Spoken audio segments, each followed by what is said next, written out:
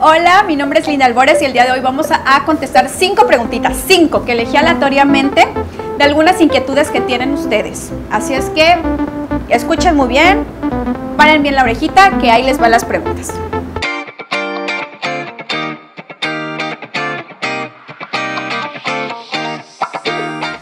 ¿Qué creen? Estoy súper, súper feliz porque llegamos a más de 15 mil suscriptores. Muchísimas gracias. ¡Eh! Llegué a 15 mil, todo un reto para mí. Así es que muchas gracias por verme y compartir los videos y comentar. Así es que vamos a entrar de lleno a las preguntitas. Por ejemplo, Abril García dice, por fin el video que tanto esperaba, porque a veces me tarda un poquito. Me dice que si le podemos dar algunos consejos de cómo elegir el vestido y sentirse más cómoda. Cómo elegir el vestido. Ya habíamos hecho un videito anteriormente dándoles algunos tips que esto aplica tanto novias y para quinceañeras.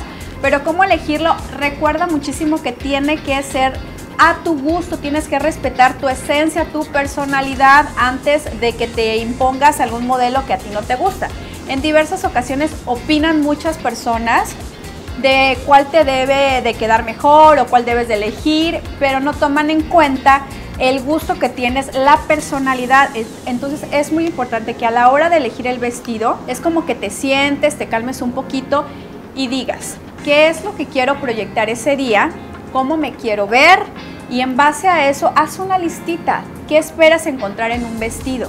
Para que te vayas enfocando esos modelos. Algo que les comenté y es muy importante, por favor tengan la mentalidad o la mente abierta.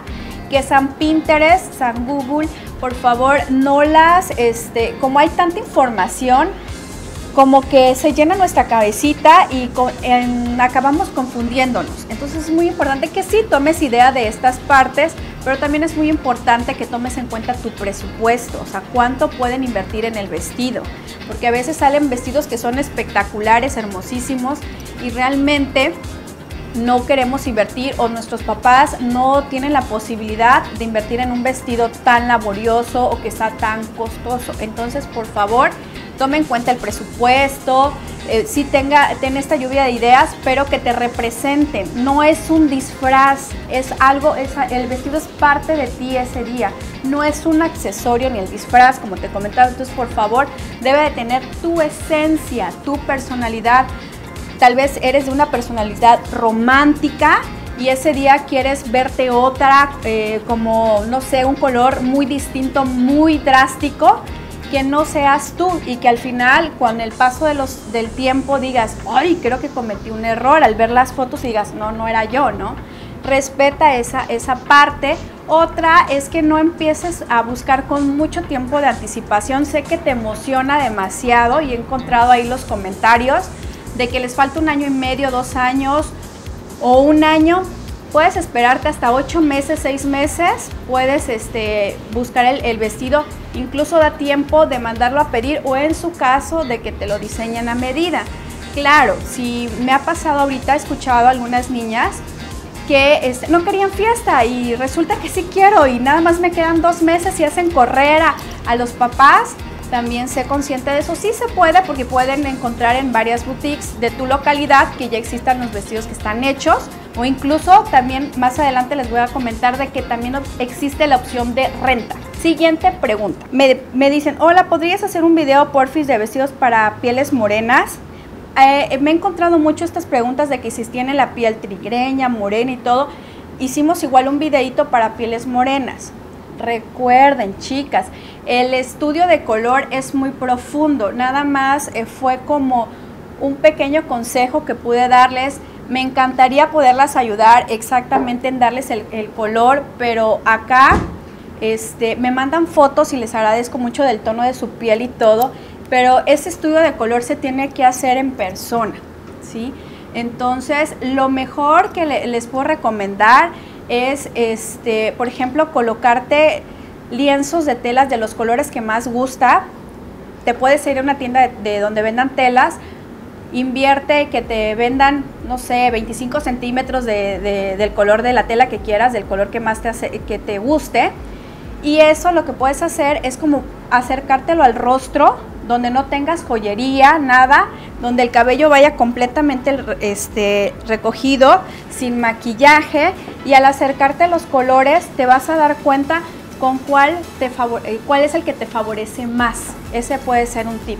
También en, el video les comentaba que pueden usar eh, estos lienzos de la tela en color plata y dorada y eso te va a decir, el color dorado es como si fuera, es un color cálido y el plata tiende al color este, frío.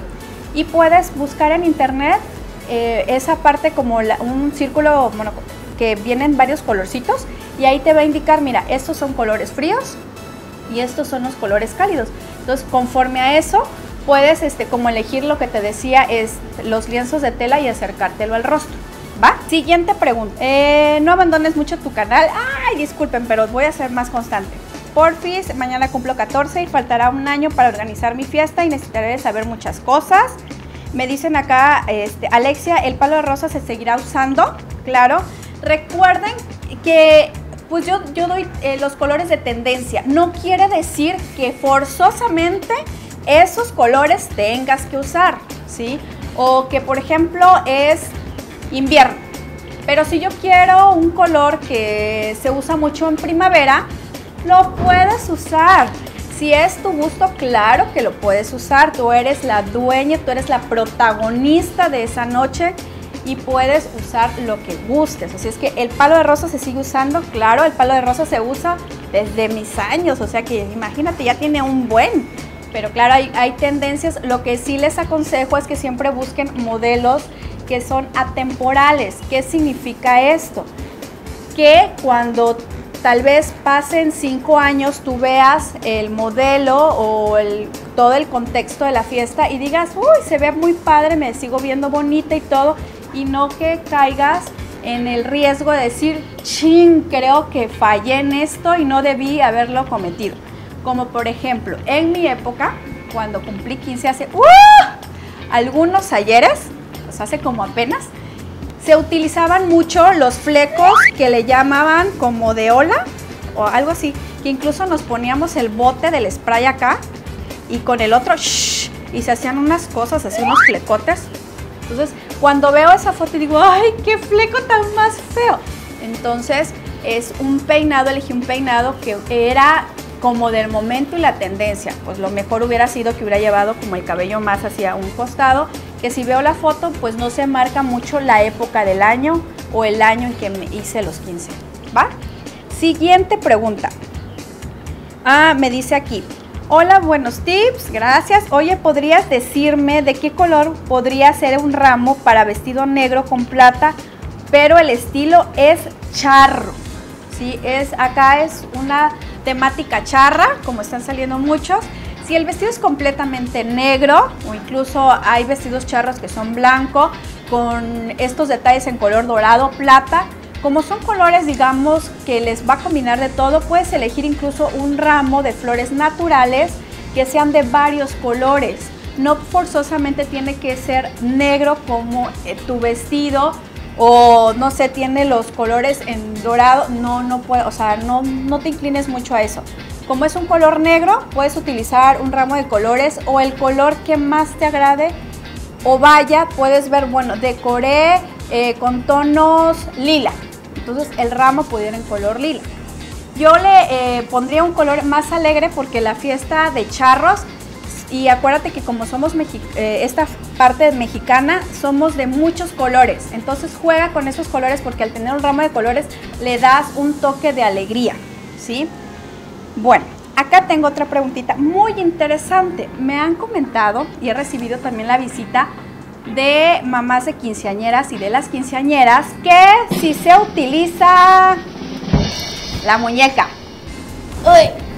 Entonces, la muñeca que llevan y el vals tan tan tan. Yo realmente tengo una niña y le diría no, no la, no la usaría.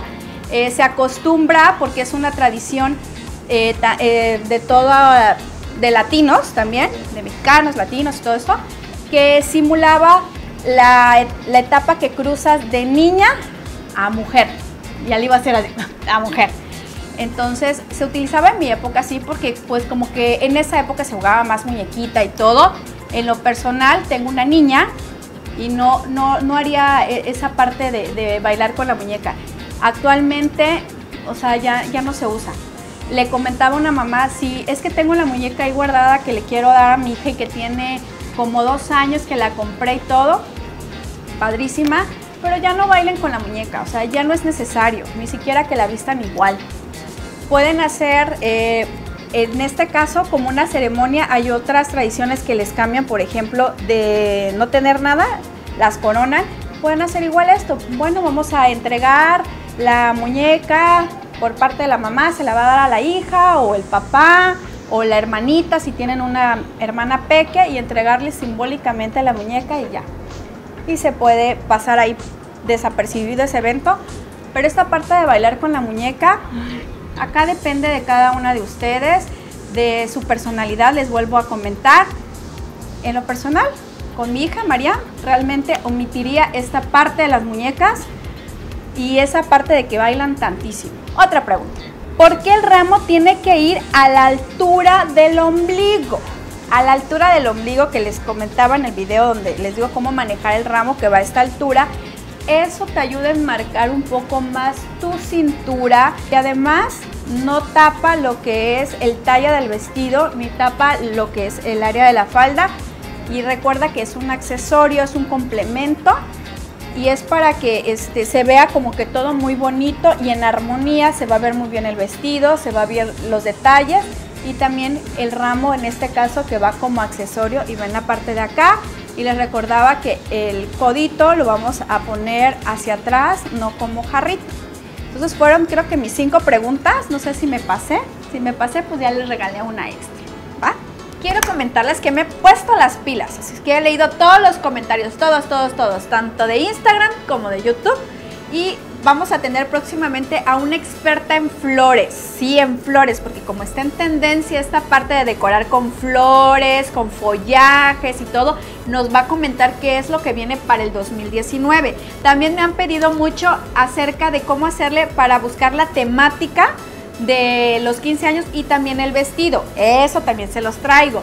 Me han dicho fotografía linda, algunos tips para posar y todo eso. También vamos a hablar de fotografía y de acerca de los openings. ¿Qué son los openings? Así es que si no sabes, bueno, sí saben muchos, pero si no, o tenemos algunas dudas, porque también a veces algunos haters ahí me colocan, ay, nos hablas como si no supiéramos ni nada. Trato de ser como que aterrizar más el lenguaje para que me puedan entender todos, tanto de acá de México como las seguidoras que tengo de Perú, de muchas partes, hasta Estados Unidos. Hace unos 15 días tuve una visita de una niña de 15 años, una quinceañera de Estados Unidos. Entonces les agradezco mucho. Y otra vez, ¡eh! Llegamos a 15 mil y esto se logró gracias a ustedes. Y en honor a eso me corté el cabello. Así es que si están viendo, ya estoy estrenando look nuevo me maquilla, acuerden, me maquilla mucho, un poquito. Eddie Ruiz es el que me arregla, porque sí, a ver si sinceramente necesito un zarpazo de, tigre por la ojera y todo, de ser mamá, no saben. Esas criaturas me desgastan mucho, es que no se pueden perder los próximos videos.